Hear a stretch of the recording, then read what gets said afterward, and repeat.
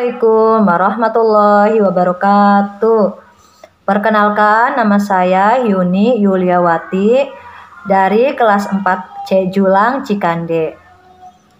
Baiklah, di sini saya mendapatkan kesempatan untuk membuat video untuk memenuhi tugas UAS dengan MK deteksi dini tumbuh kembang anak dengan dosen pengampu Ibu Dr. Hajah Yayah Rukiah MPD.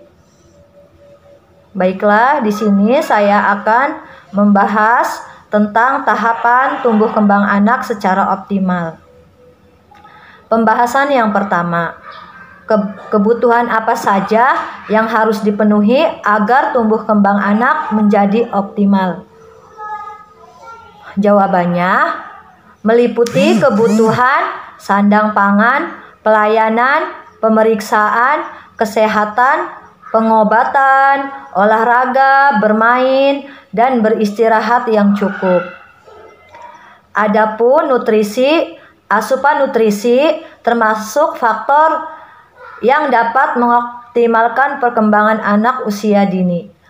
Dan stimulasi, selain nutrisi, stimulasi perangsangan juga sangat penting untuk mengoptimalkan perkembangan anak usia dini. Dan yang terakhir, kasih sayang terhadap kasih sayang yang diberikan orang tua dan keluarga. Baiklah, kita lanjut dengan pembahasan yang kedua.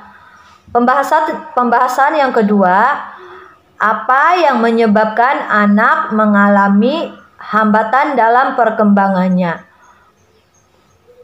Penyebab keterlambatan perkembangan perkembangan umum antara lain gangguan genetik atau kromosom seperti sindrom Down, seperti gangguan atau infeksi susunan saraf seperti cerebra palsi atau CP, spina bifida, sindrom rubella, riwayat bayi resiko tinggi seperti bayi prematur atau bayi kurang bulan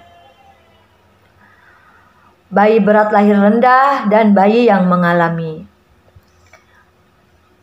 Baiklah, itu saja pemaparan materi dari saya.